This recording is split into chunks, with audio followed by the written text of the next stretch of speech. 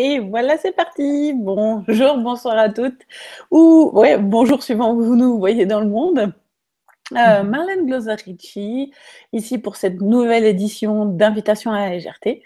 Et de l'autre côté de l'Atlantique, j'ai ma collègue Edith Paul. Bonjour Edith.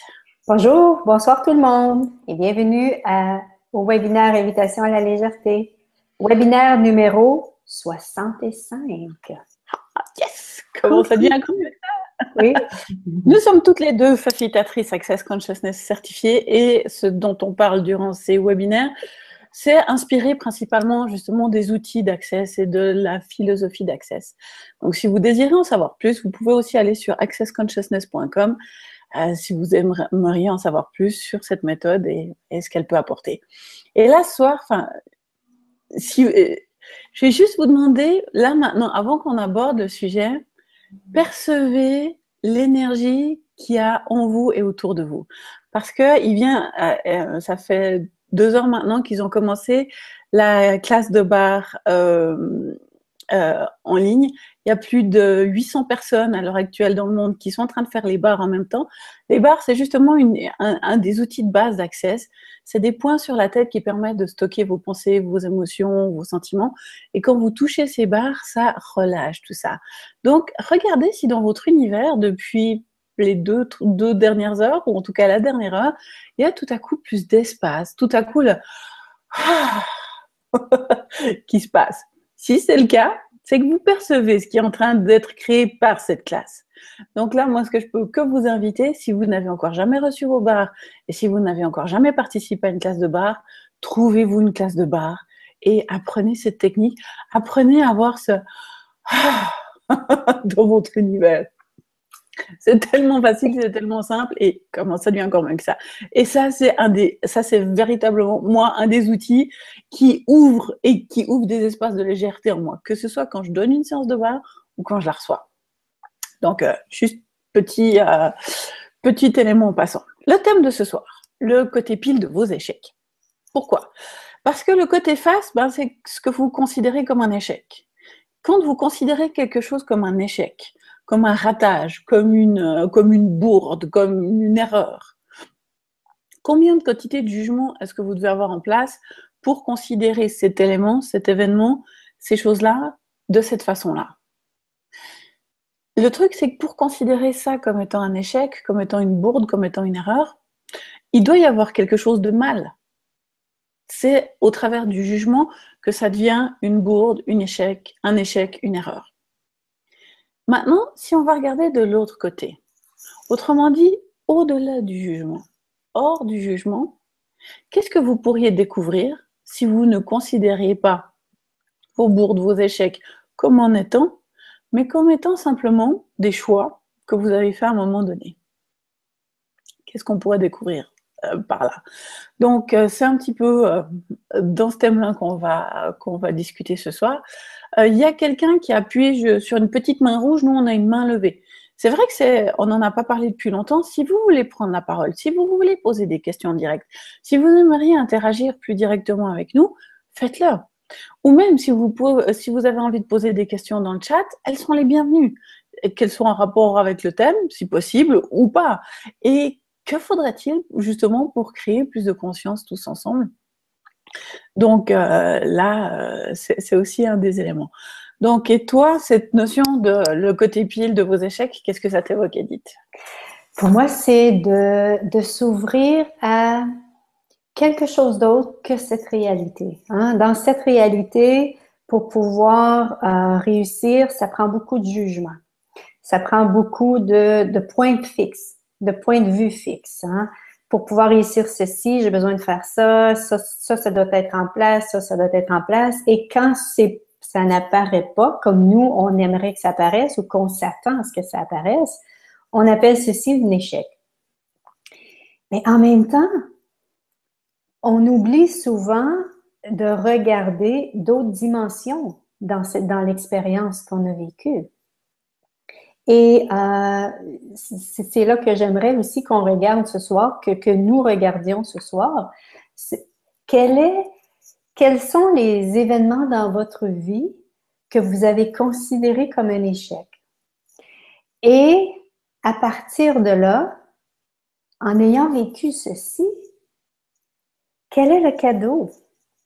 Quel est le cadeau? Bon, on s'entend que parfois les cadeaux sont mal emballés, ça reste quand même que c'est des cadeaux. Et ces cadeaux-là, souvent, ce ne sont pas des, cadeaux qu'on voit. C'est des choses que l'on vit avec soi-même. Que l'on vit, on devient parfois plus ouvert à soi-même. On, est plus ouvert à, une réalité qu'on ne s'était pas ouvert avant. On est plus ouvert à, voilà, à des choses qu'on n'était pas conscient avant. On devient plus conscient de certaines choses.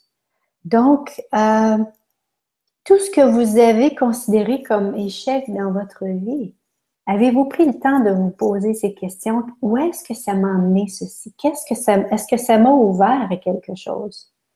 Et tout ce qui ne vous permet pas, et tous les points de vue fixes qui sont en place pour garder ceci dans l'idée que c'est un échec. Allez-vous tout détruire et décrire ceci? Fois un dieu zillion. Good around pendant nine shots, boys and beyond. Toutes les raisons et justifications que vous avez qui prouvent, mais oui, c'est un échec. Au lieu de vous ouvrir à une possibilité différente, est-ce que vous voulez bien détruire et décrire tout ça fois un dieu mm. mm.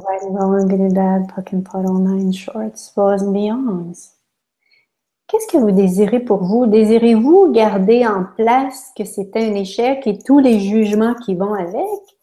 Ou préférez-vous être dans un espace où est-ce que vous n'avez même plus aucun point de vue par rapport à ceci? Qu'est-ce qui créerait le plus pour vous? Est-ce que ce serait de garder les points de vue fixes qui gardent ceci en échec? Et si c'est le cas, quel est le bienfait?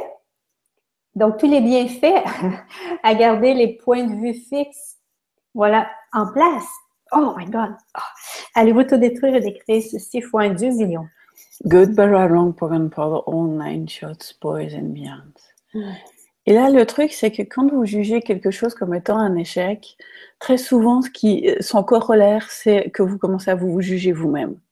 Qu'est-ce que j'ai fait de faux? Qu'est-ce qui tourne pas rond chez moi? Qu'est-ce qui ne marche pas en moi? Euh, Typiquement, enfin, j'ai la, chance d'avoir deux garçons, mais mon fils aîné est, est, né par césarienne à 32 semaines de grossesse avec un retard de grossesse, et entre mon premier fils, enfin un retard de croissance, et entre mon premier fils et mon deuxième fils, il y a une grossesse extra-utérine et cinq fausses couches.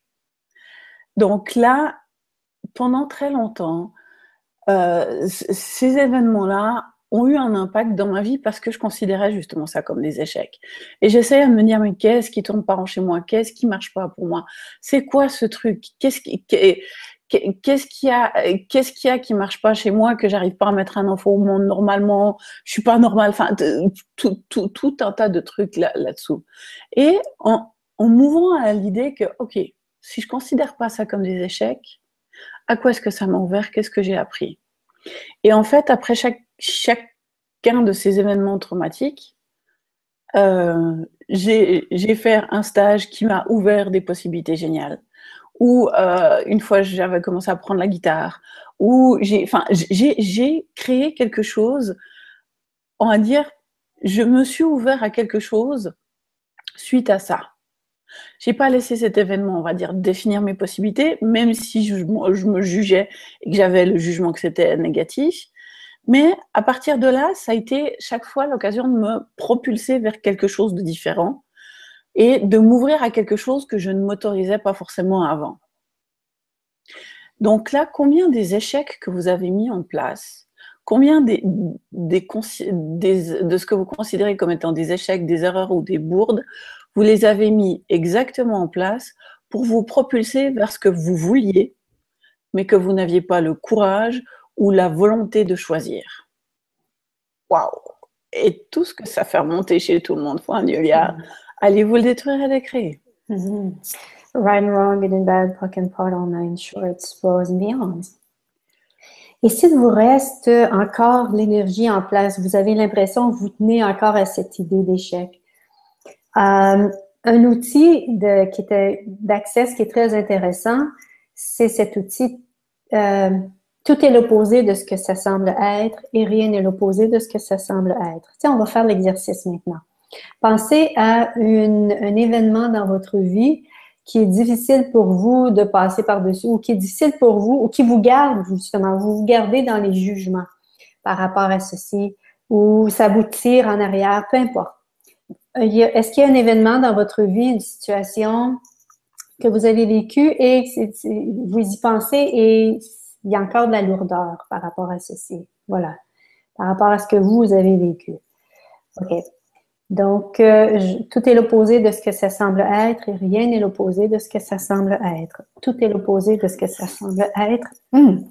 Et rien n'est l'opposé de ce que ça semble être. Tout est l'opposé ah, de ce que ça semble être et rien n'est l'opposé de ce que ça semble être. Tout est l'opposé de ce que ça semble être. Et rien n'est l'opposé de ce que ça semble être.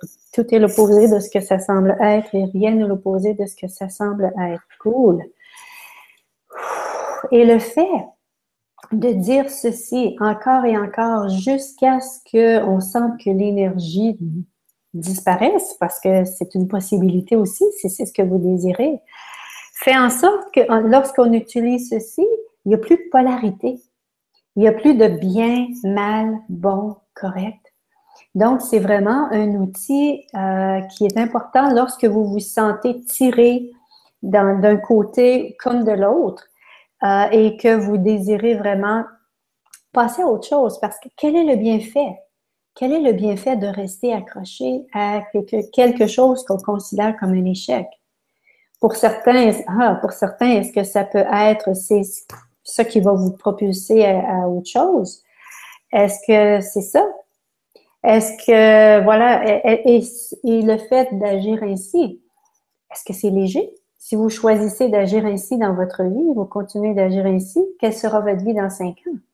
Donc, allez avec ce qui, ce qui, en tout cas, choisissez ce que vous désirez pour vous.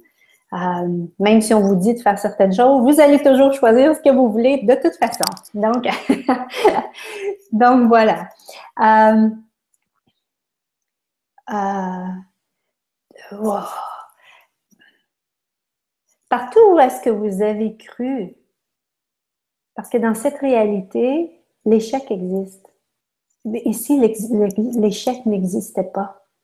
Ici, ça ne faisait partie que de cette réalité. Quelle serait votre vie?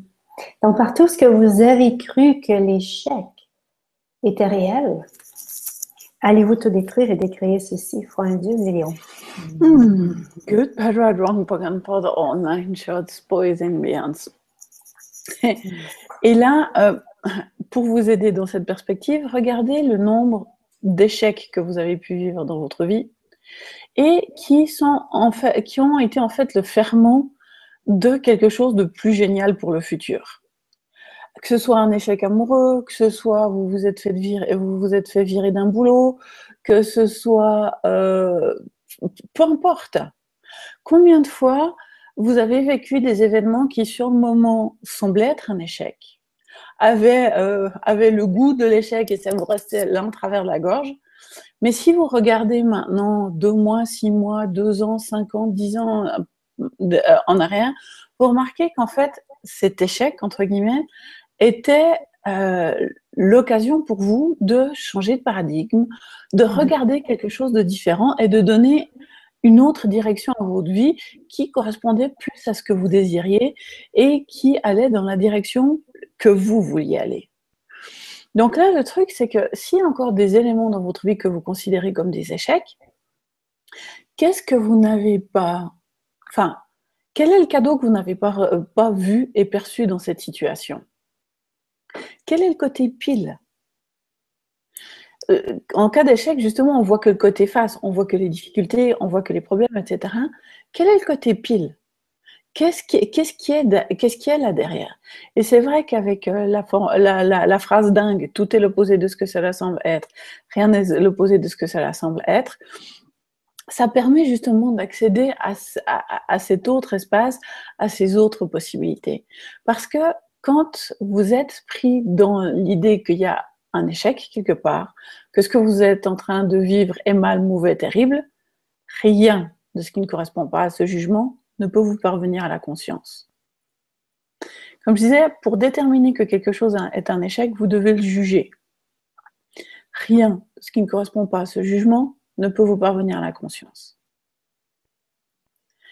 Et tout ce que ça fait remonter par un, point d'huilière, allez vous détruire et créer. Right and wrong, in a bad, pocket and nine shorts, was and beyond. Oh. oh. Je disais tantôt que ici, l'échec n'était pas réel? Et si vous ne pouviez pas échouer,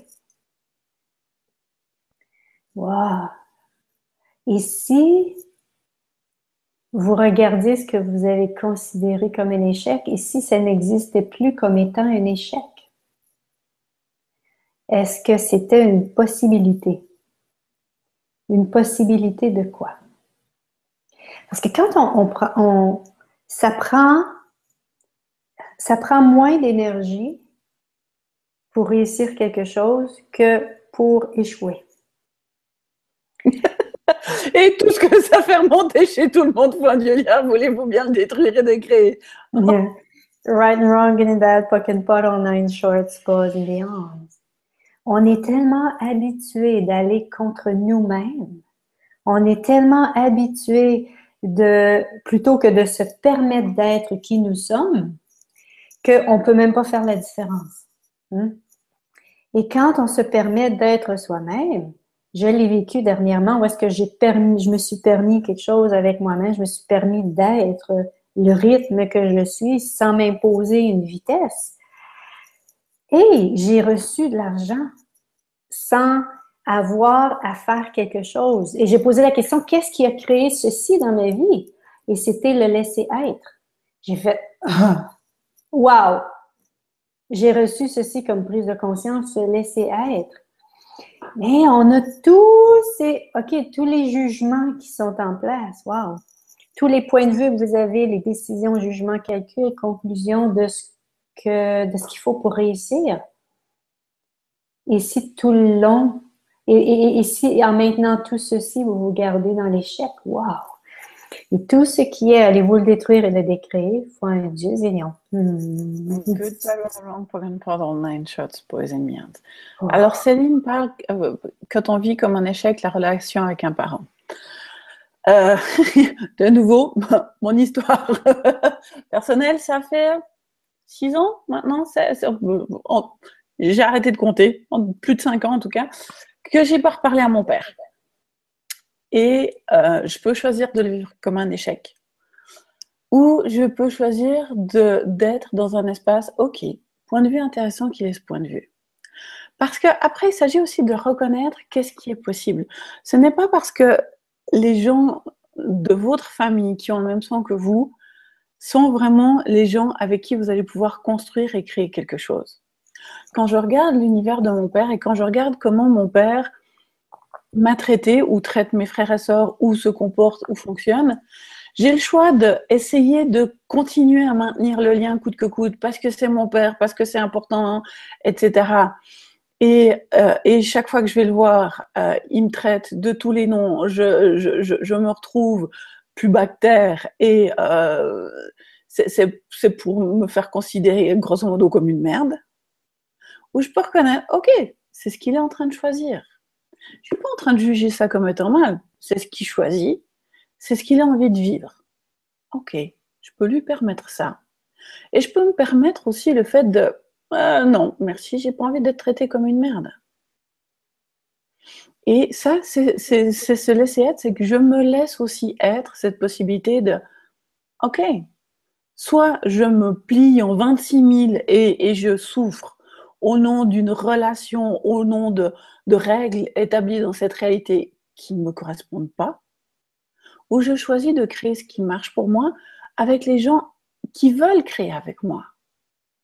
Donc là, Céline, avec ta mère, est-ce que c'est réellement un échec votre relation?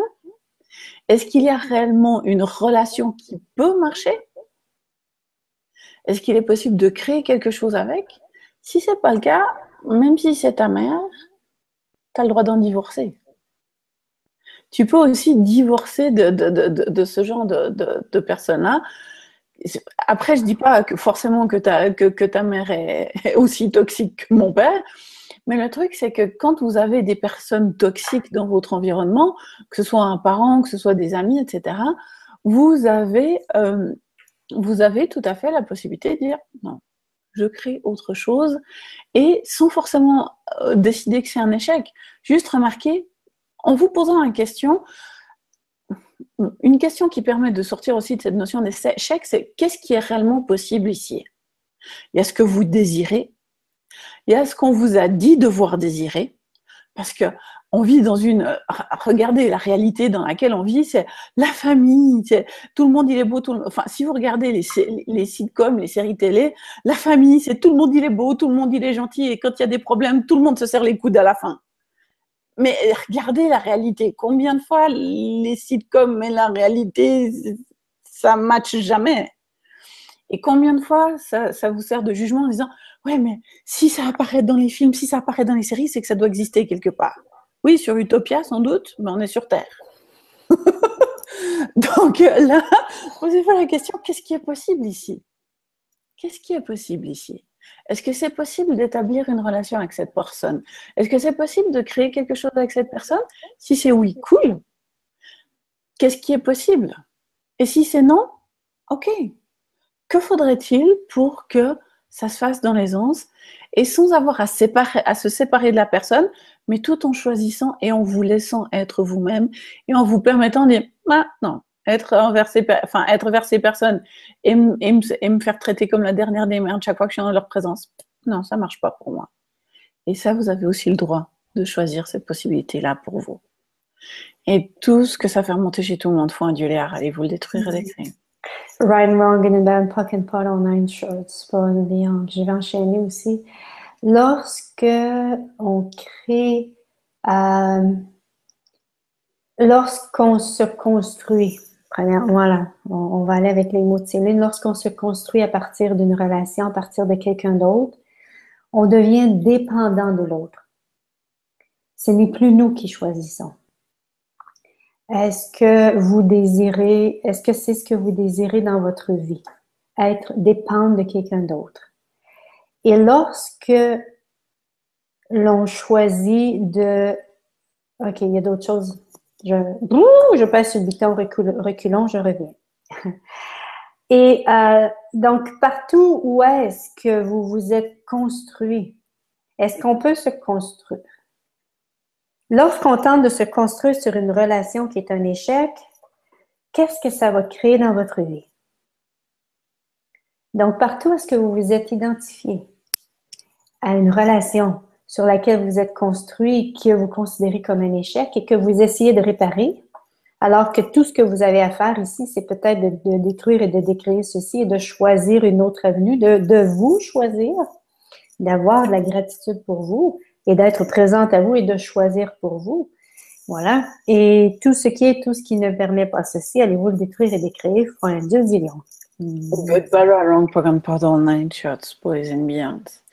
Et ensuite, et dans les relations, quelles qu'elles soient, que ce soit les relations avec votre famille, mais que ce soit aussi les relations amoureuses ou autres, une relation, ça doit toujours ajouter à votre vie. C'est-à-dire que si quelqu'un est présent dans votre vie, ça doit ajouter plus de joie, plus d'aisance, plus de possibilités. Si vous avez une relation, et si cette relation est au lieu de votre vie, vous ne rendez service ni à la personne en face, ni à vous-même. Et vous allez créer justement le ferment d'échec relationnel. Donc tout ce que vous avez fait pour créer des relations euh, au lieu de créer vos vies, vous voulez bien détruire et décrire tout ça pour un liard. Mm. Right wrong, in and down, puck and all nine shorts, spores and beyonds. Et, et comprenez que si vous continuez à vous identifier à ceci, vous tentez de réparer quelque chose qui n'existe que dans votre tête. Et, ce que je suis en train de dire, c'est comme si je suis en train de rentrer dans un mur ici. Qu'est-ce que vous désirez pour vous? Qu'est-ce qui, qu'est-ce que vous désirez? Est-ce que vous désirez garder toute cette structure en place?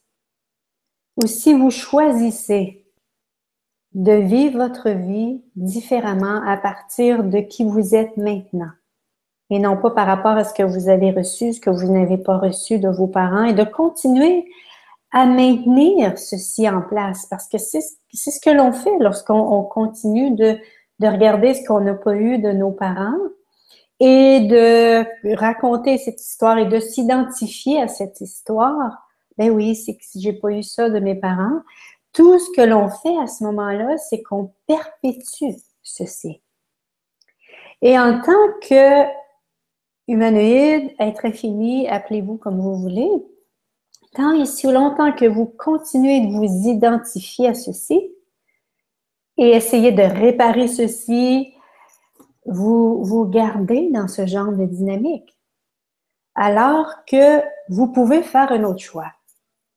Vous pouvez dire, tout ça, tout ce à quoi j'ai travaillé pendant des années, essayer de réparer et de me bâtir autrement, ici, c'était simplement que une réalité que j'ai créée et que je peux tout détruire et décréer ceci.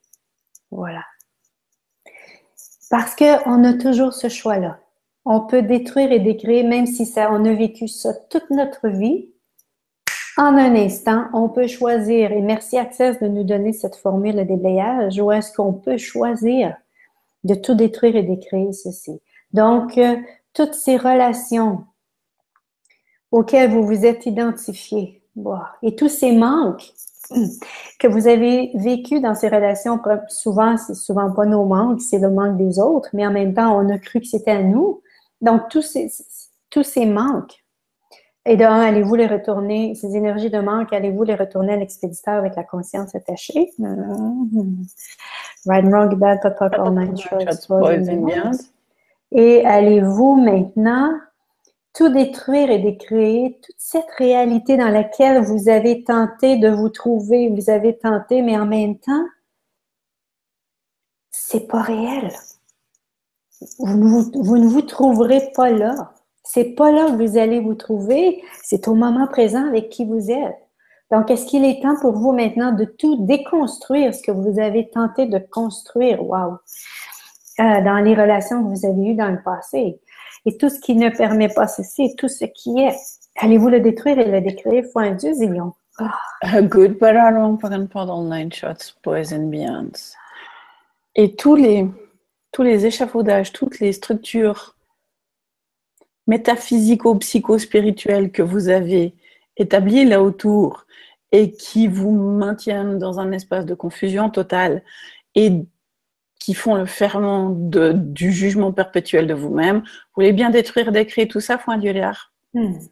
Right and wrong, in that plug and pot on nine shorts, pause and beyond. Euh, je crois qu'on va pouvoir faire une, une, ou deux émissions purement sur, sur les relations. oui, je crois que oui. Hein. Parce que, parce que là, le truc, c'est que, ah, comment dire ça? Face aux relations et face aux. C'est vrai que les échecs, les échecs dans les relations, c'est ce qu'on considère comme étant. Enfin, c'est monnaie courante dans cette réalité. Parce que, premièrement, l'espace de laisser être est difficile, ou il est quasiment inexistant. Et la deuxième chose, c'est que entre ce que je dis, ce que l'autre entend, et ce qui se passe réellement, il peut y avoir tout un tas d'interprétations, de, etc. On entend ce qu'on veut, chacun entend ce qu'il veut au travers de ses filtres. Alors à partir de là, c'est vrai que euh, il ne s'agit pas de, forcément tourner le dos à tout le monde, mais de voir qu'est-ce qui est possible. Et, et là, pour savoir, donc posez-vous la question, qu'est-ce qui est possible et quelle énergie, espace et conscience puis-je être pour avoir de la clarté dans cette situation? Parce que dans vos, dans vos situations, de, quand vous ne savez pas comment vous comporter avec certaines personnes qui vous sont chères, mais euh, il y, y, a tout un tas d'autres influences, etc. Ok, quelle énergie, espace et conscience puis-je être pour avoir de la clarté dans cette situation? Qu'est-ce qui est possible ici? Quelle contribution puis-je être et recevoir? Avec ces trois questions, vous allez commencer à voir, OK, euh, la contribution, c'est, est-ce, la contribution, ça peut être, est-ce que je me retire et je laisse se démerder? Ah ouais, OK, intéressant. Parce que très souvent, quand on plonge dans la mêlée, c'est parce qu'on a conscience de quelque chose, on a euh, conscience d'une possibilité, mais quand on plonge dans la mêlée, souvent on se fait emporter dans le tourbillon des autres et ça n'aide pas. Par contre, le fait d'être à l'extérieur parfois et de regarder, alors c'est vrai qu'il risque d'y avoir des jugements qui, sont projetés envers vous. T'es es, une fille indigne, t'es une cousine indigne, t'es euh, euh, une, mauvaise copine qui me tourne le dos. Euh, il, risque d'y avoir des projections, des, jugements qui sont projetés à, vous. Et sachez que peu importe les projections, ce ne sont que des points de vue intéressants. Ça vous donne juste l'espace, l'idée, le, fonctionnement, comment la personne qui aimait cette chose-là fonctionne. Ça n'a rien à voir avec vous. Donc tout ce que vous avez fait pour vous identifier au jugement que les autres projetaient de vous, qui vous maintient dans cet espace d'échec aussi. Waouh, vous voulez bien détruire et décrire tout ça, point l'air. Hmm. Right, wrong, and bad, but on nine short, suppose and beyond. Et les jugements que les gens avaient de vous, est-ce que c'était de vous qu'ils avaient ces jugements ou c'était d'eux-mêmes? Et parce que vous les avez, et parce que vous les avez perçus, vous avez cru que c'était à vous. Donc, euh, tous ces jugements d'échec que les gens ont eus envers eux-mêmes et que vous avez perçus, est-ce qu'il est le moment pour vous maintenant de retourner tout ceci à l'expéditeur avec la conscience attachée? Oh. Hmm. Good prendre nine shots, Vous voulez changer les dynamiques relationnelles? regardez tous les points de vue que vous avez. Faites la liste. OK. Euh, quand je suis, euh, enfin, euh, la relation avec mes parents ou avec ma mère ou avec mon père, vous pouvez le faire séparément.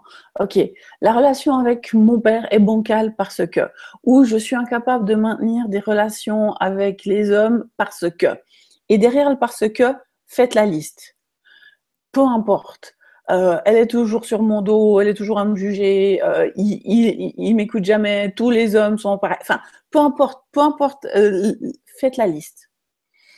Et chaque élément qui vient, dites point de vue intéressant que j'ai ce point de vue. Point de vue intéressant que j'ai ce point de vue. Point de vue intéressant que j'ai ce point de vue. Point de vue intéressant que j'ai ce point de vue. Jusqu'à ce que le point de vue lâche. Jusqu'à ce que ce point de vue-là n'ait plus de solidité, que ce soit plus cette présence-là. Et le suivant, pareil. Point de vue intéressant que j'ai ce point de vue. Point de vue intéressant que j'ai ce point de vue.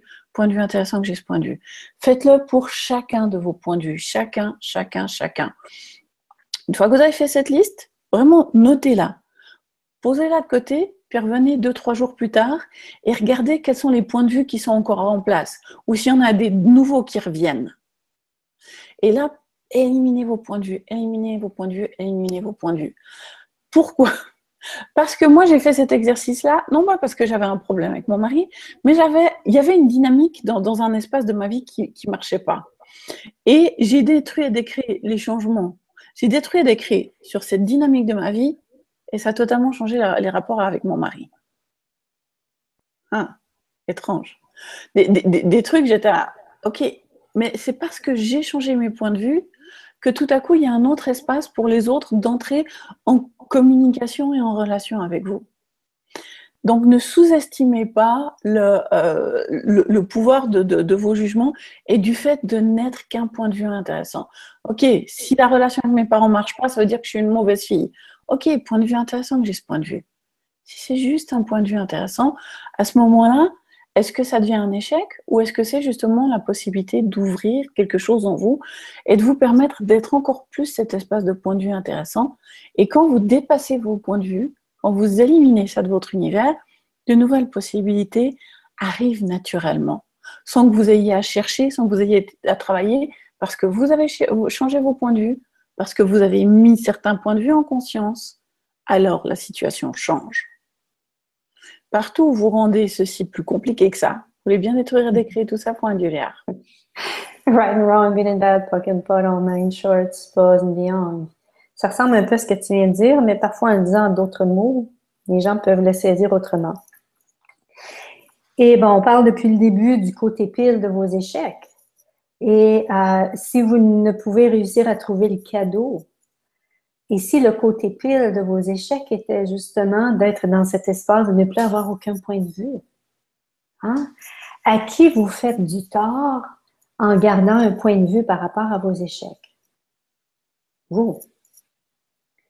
Et en gardant ce point de vue, que maintenez-vous en place dans votre énergie? Est-ce qu'en maintenant ce point de vue-là, est-ce que ça crée plus pour vous? Est-ce que ça crée plus d'aisance? Est-ce que ça crée plus de légèreté? Hein? Et si c'était de vous retrouver dans cet espace où est-ce que vous n'avez plus aucun point de vue en utilisant, comme tu disais tantôt, euh, l'outil euh, point de vue intéressant, j'ai ce point de vue. Qu'est-ce que vous allez perdre si vous vous permettez de ne plus avoir aucun point de vue par rapport à ce que vous considérez comme un échec dans votre vie? Hmm, OK. Et tout ce que ça fait remonter, allez-vous le détruire et le décréer fois un zillion. Mm, good, bad, wrong, pod, all nine shots, poison beyond. Hein? Quel est le.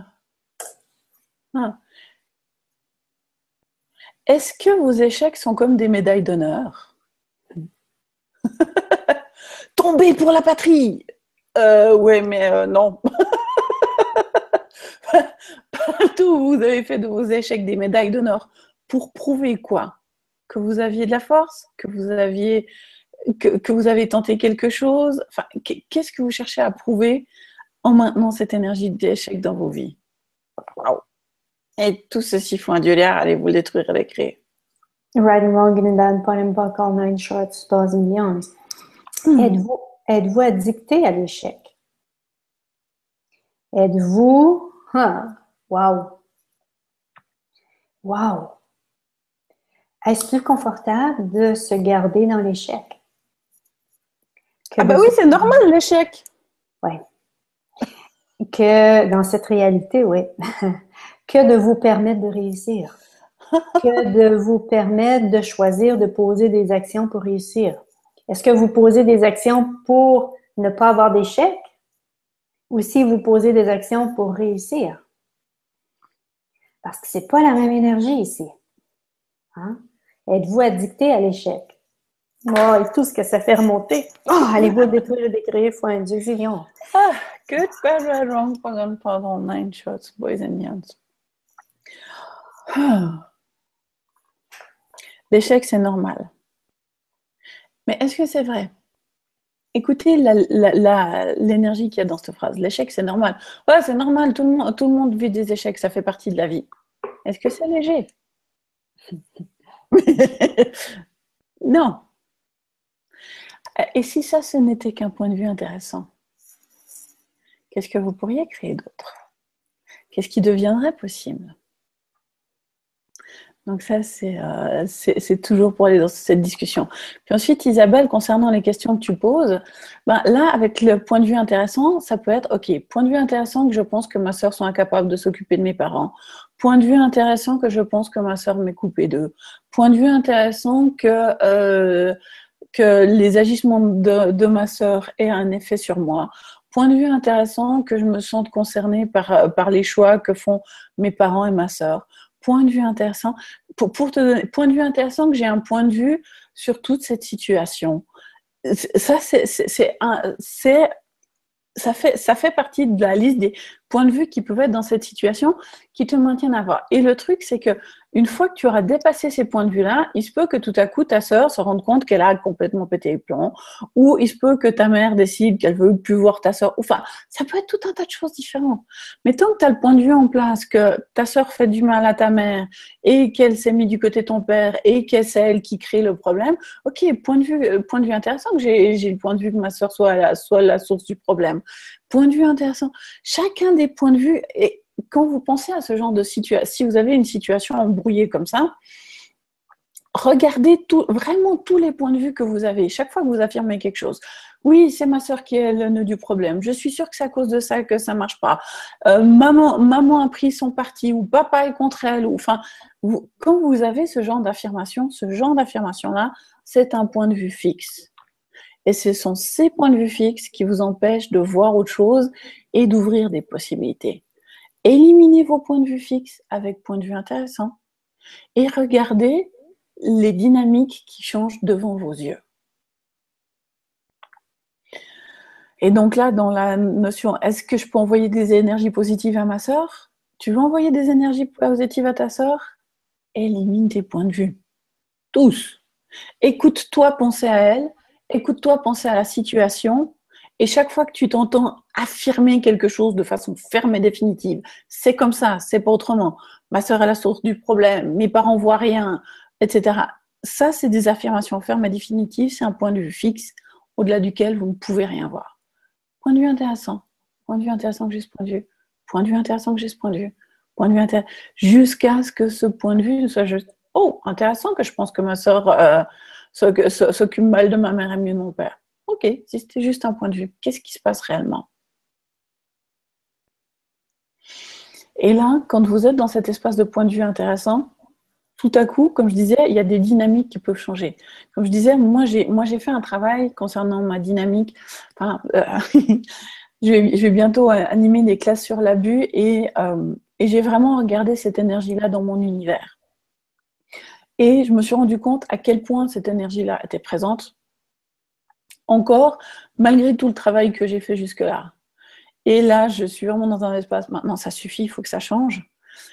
Et la façon de, ma façon de percevoir mon mari, c'était au travers de cette énergie. Maintenant que cette énergie est plus en place, tout à coup, il peut se permettre d'être quelque chose que je ne pouvais pas voir tant que cette énergie-là était en place. Donc là, c'est vraiment vos points de vue qui déterminent votre réalité. Et souvent, on a tout un tas de points de vue cachés, tout un tas de points de vue dont, on ne se rend pas compte à quel point ça impacte notre vie. Donc, euh, avec tous les points de vue cachés dont vous ne vous rendez pas compte, qui, euh, qui sous-tendent toutes les impossibilités, tous les échecs, toutes les, toutes les difficultés de vos vies. Vous voulez bien détruire, décrire tout ça, Dieuillard. Hmm. Right and wrong and then put on nine short suppose and beyond. Isabelle, qu'est-ce qui est important ici pour toi? Est-ce que c'est toi d'être à l'aise dans cette situation ou si c'est que tes parents soient bien? Euh, voilà.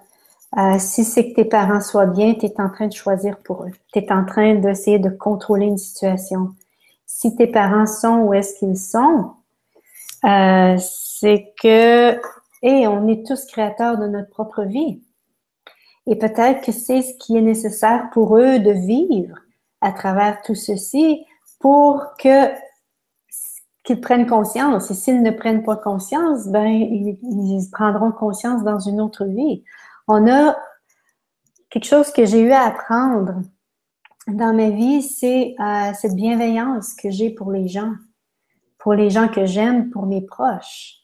Et j'ai eu à dépasser ce désir que je voulais que les miens soient bien. J'ai eu à apprendre à leur permettre de vivre ce qu'ils étaient en train de vivre, même si c'était pas ce que je préférais pour eux.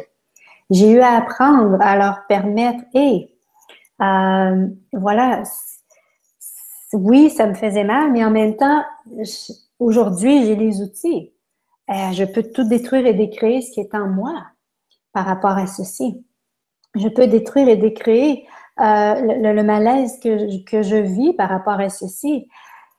Tant et aussi longtemps. Ici, c'était pour toi, Isabelle, qu'as-tu demandé à la vie pour pouvoir vivre ce que tu es en train de vivre?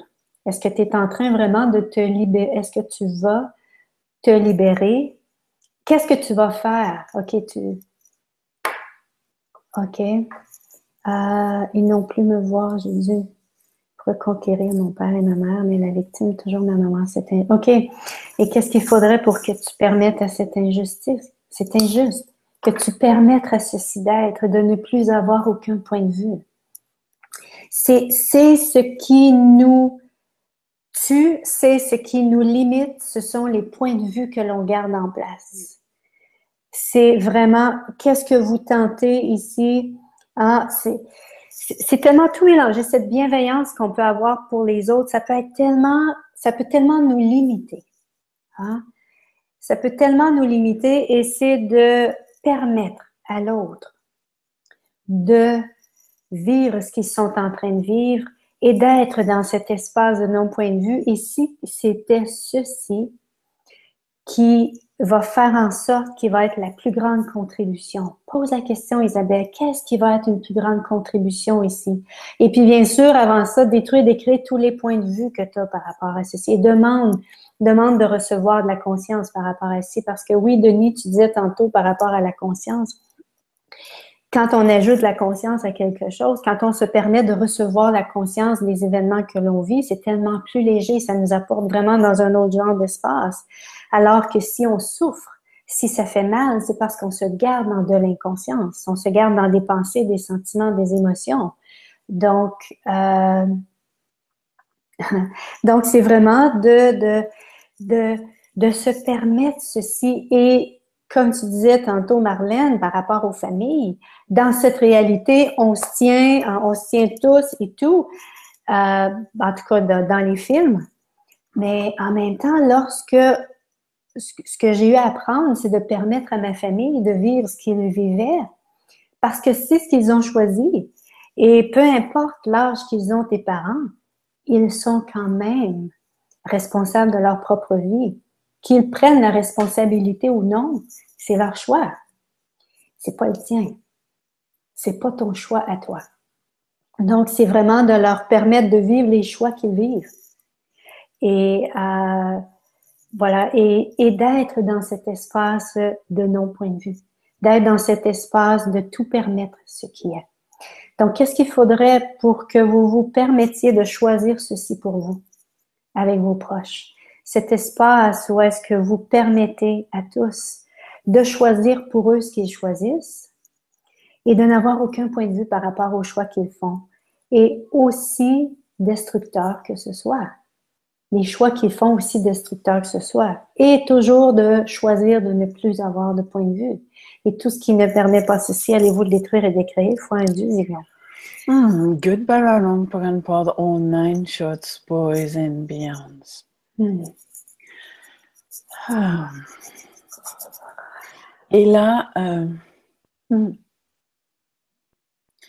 c'est vraiment un, des, outils les plus puissants que vous... Au départ, on ne se rend pas compte, quand on commence à utiliser, enfin personnellement, moi je ne me suis pas rendu compte quand j'ai commencé à utiliser point de vue intéressant, que j'ai ce point de vue, à quel point, quand je maintiens mes points de vue en place, quand je maintiens mes croyances en place, tout mon univers va s'adapter à ces points de vue-là. C'est-à-dire que c'est réellement les, espaces ou les non-espaces que je vais laisser à l'univers, aux gens qui m'entourent, d'entrer en relation, de communiquer. Les dynamiques que je mets en place sont là par rapport à mes points de vue. Donc, quand j'ai appris vraiment, comme tu disais si bien, à détruire, à décréer mes points de vue, à utiliser points de vue intéressants, à sortir tous ces nœuds-là, et que j'ai vu les dynamiques changer, j'étais là, waouh, waouh. Et, et, ça, et, ça, et ça a l'air, ça a l'air tellement simple. On se dit, ouais, mais ça doit être plus compliqué que ça. Attends, c'est pas possible. Juste ça, juste dire point de vue intéressant, pas, pas juste dire point de vue intéressant, mais réellement être présent avec l'énergie, être présent avec la solidité qui est là. Et regardez cette solidité perdre de sa substance pour ouvrir un espace de possibilité. Et là, tous les espaces que vous avez solidifiés dans vos vies, il y a des points de vue fixes en place. Quand vous considérez comme un échec, il y a une solidité, il y a un jugement, il y a un point de vue fixe en place. Ou plusieurs, il peut y avoir même des dizaines de points de vue fixes. Posez-vous la question, quels sont les points de vue fixes que j'ai là en place qui empêchent ceci? Et ça peut être lié, ben, comme avec Isabelle, une dynamique familiale avec ses parents, mais ça peut être lié à un échec amoureux. Est-ce que véritablement c'était un échec? Ok, point de vue intéressant que j'ai ce point de vue. Ok, euh, le point de vue, ça peut enfin, moi j'ai remarqué que Une des clés d'accès, c'est en tant qu'être infini, euh, une des dix clés d'accès, il y a un livre qui s'appelle Les dix clés vers la liberté. Et la dixième clé, c'est pas de séparation. même les gens, on va dire, qui vous ont entourloupé, même les gens qui vous ont fait du mal, même les gens qui, vous ont, ont fait baver, si vous avez encore de l'affection pour eux, si vous vous coupez de cette affection-là, parce que mon Dieu, ils m'ont fait du mal, c'est de vous dont vous vous coupez. Et là, le truc, c'est qu'il s'agit de reconnaître, waouh, j'ai encore de l'affection pour cette personne. Malgré tout ce qu'elle m'a pu, pu, me faire, j'ai encore de la bienveillance, j'ai encore de l'affection pour cette personne. Je souhaite encore le meilleur pour cette personne, malgré tout ce qu'elle a pu me faire. Et là, quand vous reconnaissez ça pour vous, et ça ne veut pas dire que la relation peut renaître. Je veux dire, euh, moi, il y a certaines personnes, enfin, comme je disais avec mon père, ça n'empêche pas l'affection que j'ai pour lui. Si un jour il me téléphone en me disant euh, j'ai vraiment besoin de ton aide, je vais mal, je serai là. J'ai pas besoin de me. C'est pas. Mais tant qu'il est dans, dans cet espace où quand il m'appelle, c'est pour me traiter de merde, non merci. Donc là, le truc, c'est que j'ai pas besoin de me couper de l'affection que j'ai pour cette personne. J'ai pas besoin de me couper de la bienveillance que j'ai pour eux. Je peux la reconnaître pour moi, me permettre d'être ça et reconnaître que dans cette bienveillance-là, leur choix, le choix de se faire mal, le choix d'être victime, le choix de se pourrir leur vie est souverain. Votre vie, si elle est pourrie, c'est votre choix. Les gens qui vous entourent, si, si leur vie est pourrie, c'est leur choix, leur choix souverain. Et quand vous changez vos points de vue, vous leur ouvrez un espace où d'autres choix deviennent possibles. Mais vous ne pouvez pas les forcer à choisir. Partout, ce serait tellement plus simple si vous pouviez, si tout le monde choisissait. Non, mais vous savez comment la vie marche. Si tout le monde choisissait comme vous avez décidé, la vie serait tellement plus simple. Et tout ce que ça fait monter chez tout le monde pour un milliard, allez vous le détruire et l'écrire. Hmm. Right and Wrong, Good and Bad, Puck and Pot, All Nine Shorts, Paul Beyond. Je vais terminer avec Isabelle qui dit, mais maman, si ta maman n'a jamais eu le choix, c'est peut-être parce qu'elle n'a jamais, s'est jamais donné le choix d'avoir le choix. Est-ce que tu peux permettre ceci? Est-ce que tu peux permettre à ta mère de ne pas avoir choisi pour elle? Ou au contraire, est-ce qu'elle a choisi exactement ce qu'elle désirait? Aussi, voilà, aussi, si, c'était ce qu'elle désirait, ouais, voilà. Voilà, et, et, et, et, c'est difficile à, saisir ceci, mais c'est souvent en permettant à nos proches de vivre ce que nous, on considère comme de la merde, ce qu'ils sont en train de vivre, qu'on leur rend le plus grand service. Euh, voilà, donc qu'est-ce qu'il faudrait pour que euh, vous permettez, le plus grand cadeau que vous pouvez faire à quelqu'un, c'est de leur permettre de vivre la vie, de permettre de vivre les choix qu'ils font et de permettre de vivre, euh, voilà, qu'ils puissent vivre ce qu'ils créent avec les choix qu'ils font. Voilà. Et tout ce qui ne vous permet pas ceci, voilà. Hmm. Allez-vous détruire et décréer? Fois un zillion.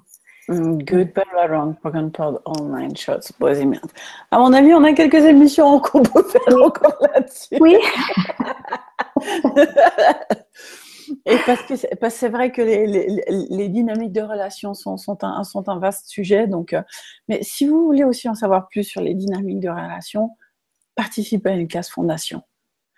Euh, si vous ne l'avez pas encore fait, ou si vous avez fait, reprenez vos manuels reprenez euh, les cinq éléments de l'intimité, reprenez tous ces éléments-là dont on parle, parce que euh, quand, vous, quand vous comprenez que chaque personne choisit ce qu'elle choisit parce qu'elle peut le choisir et pour aucune autre raison. Est-ce que c'est censé Est-ce que c'est logique Est-ce que c'est raisonnable? Non. Rarement. Ça peut être lié à d'autres vies, ça peut être lié à tout un tas de choses. Pourquoi et comment? L'important, c'est juste de savoir que c'est un choix et qu'on ne peut pas aller à l'encontre du choix de quelqu'un.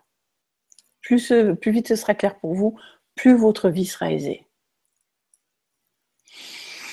Hmm. Et sur ces belles paroles, euh, on vous dit à la semaine prochaine, vu qu'on a déjà 10 minutes de retard.